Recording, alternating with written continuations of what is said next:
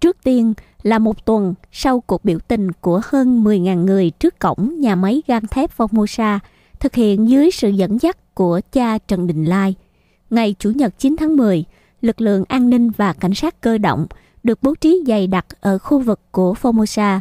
Tuy nhiên, đã không có cuộc biểu tình nào xảy ra ở Hà Tĩnh. Thế nhưng, cùng ngày, toàn bộ một nhóm hoạt động xã hội dân sự từ Sài Gòn xuống Vũng Tàu để trao đổi kinh nghiệm và phát triển các tổ chức xã hội dân sự ở Việt Nam đã bị bắt đi, giam giữ nhiều giờ với lý do hội thảo không xin phép.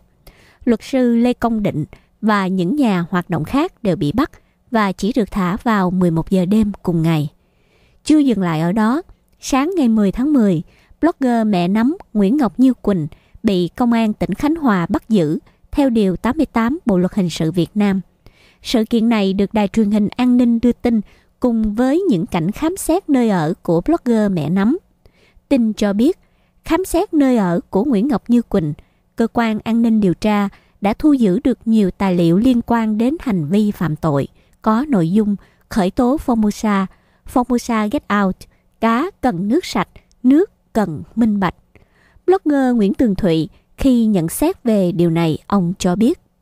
Chuyện hôm nay là truyền hình là đưa tin về vấn đề bắt bớ như ngọc như quỳnh thì tôi thấy là rất nhiều tài liệu mà rất là rất là là vô lý chẳng hạn như là những cái uh, những cái biểu ngữ uh, những cái bích chương uh, về phản đối về phản đối uh, uh, Formosa vâng. về vấn đề là đầu độc biển miền Trung đấy về vấn đề cá chết thì tôi nghĩ rằng đấy cũng chẳng phải là cái gì gọi là tuyên truyền chống vùng nhà nước um, Việt Nam cả.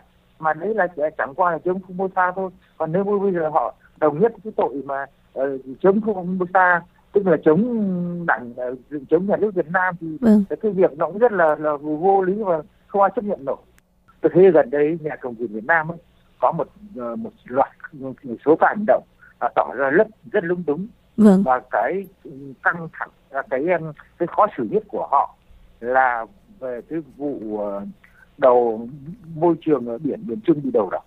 Không khéo, thì nếu mà không khéo nó sẽ nổ bùng ra ở một cái mức độ mà bất hoàn, họ sẽ hoàn toàn mất kiểm soát.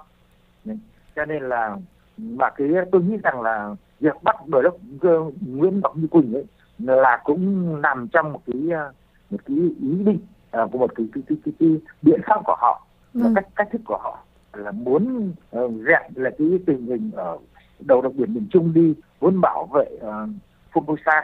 Nhà đấu tranh dân chủ Facebooker Đinh Quang Tuyến từ Sài Gòn cho chúng tôi biết cuộc biểu tình ngày 2 tháng 10 của hơn 10.000 người dân Nghệ An, Hà Tĩnh đã tạo ra một cao trào rất mạnh mẽ và chính từ điều này đã làm cho đảng cầm quyền Việt Nam phải e ngại. Nếu cái cao trào này mà để nuôi để nó chạy nó lên luôn đó thì cái việc sụp đổ của nhà cầm quyền ta thấy trước mắt luôn. Cho nên nó bằng bất cứ giá nào cho dù là uh, bệnh thiểu hay là cho dù là bất nhân hay cho dù là vi phạm uh, quyền con người hay bất cứ cái lý do gì thì nhà cầm quyền nó họ ưu tiên cái việc mà giữ được cái chế độ. Cũng theo ông Tuyến, việc bắt giữ và phá bỏ cuộc hội thảo của các nhà hoạt động dân sự ở Vũng Tàu cũng không nằm ngoài mục đích của nhà nước Việt Nam nhằm bảo vệ cho Formosa.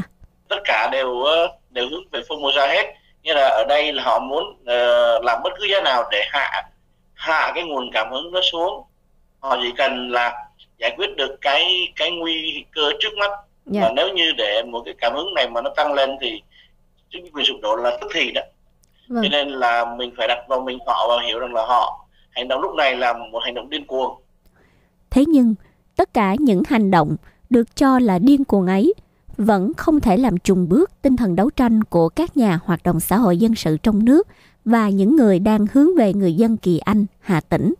Đó là nhận định của blogger Nguyễn Tường Thụy. Tôi nghĩ rằng là ừ, theo tôi thì cái việc ừ, ừ, đàn áp bắt bớ thì biện pháp này nọ của nhà cầm quyền thì tôi nghĩ là nó cũng cũng cũng về cơ bản thì không thể làm cho cái phong trào dân chủ nó đi được. Theo ông, những tài liệu được dùng làm bằng chứng cho tội chống phá nhà nước theo Điều 88 Bộ Luật Hình sự Việt Nam còn là một hình thái cho thấy chính quyền đang ra sức tạo áp lực và gieo nỗi sợ hãi lên những người đấu tranh cho môi trường biển Việt Nam. Thế nhưng, mục đích đó có thực hiện được hay không thì là một chuyện khác. họ muốn tạo ra một cái theo một cái sự sợ hãi để giảm cái sức đấu tranh của nhân dân và của những người hoạt động dân chủ thì cái đây là có mục đích thì là rõ nhưng yeah. như vấn đề là tôi đã nói là họ có đạt được mục đích không có ừ. làm cho ai sợ người ta sợ chùn bước hoặc dừng bước hay không thì tôi nghĩ rằng là không như câu trước đây như vừa rồi tôi đã trả lời là vâng. cơ bản là không không không có có thể gieo rắc gieo rắc và có làm cho một vài cá nhân một cá nhân nào đó uh, hoặc một vài cá nhân nào đó có thể sợ hãi uh, do dự đánh đo. Nhưng về cơ bản thì là họ cũng về cơ bản thì là cũng không không không đẩy lùi được cái uh, tinh thần đấu tranh của những đòi dân quyền dân chủ dạ. những người họ những người hoạt động xã hội dân chủ trong nước. Đó cũng là tinh thần của Paul Trần Minh Nhật, một trong những người theo sát với phong trào giúp người dân Quỳnh Lưu khởi kiện Formosa ngay từ những ngày đầu. Thì à, à, đó là mình có thể đối diện với bất kỳ một cái bất trắc nào cả về phương diện là an toàn sức khỏe hay là à, cả về pháp lý nữa nếu như mà à, họ muốn. Tuy vậy thì em nghĩ rằng là mình đang làm một việc lương thiện, một việc đúng và không có một cái lý do nào để mình bỏ từ bỏ chân lý cả. Nhà tranh đấu Đinh Quang Tuyến cũng khẳng định với chúng tôi con đường mà ông và những người bạn của ông đã chọn không có chỗ cho sự sợ hãi. À, thực ra là một khi mà đã dấn thân rồi thì à, cái việc mà chuẩn bị một cái tâm lý mà tinh thần thép thì đương nhiên là cái người đấu tranh hầu như là mức độ nào khác nhau một chút thôi nhưng mà cơ bản là là chấp nhận mọi rủi ro ừ. à, thì, thì cái khái niệm mà mà sợ thì chắc là là không nhưng. Dạ. mà à, cái vấn đề mà lo cho cái công chúng đó, tức là những người đi theo mình thì người ta yeah. hoang và anh nghĩ rằng là cái việc mà họ nhà công quyền họ họ bắt một số người hoạt động đó, là đánh vào cái người đi theo chứ không vâng. phải là cái người đi đầu vâng. đó.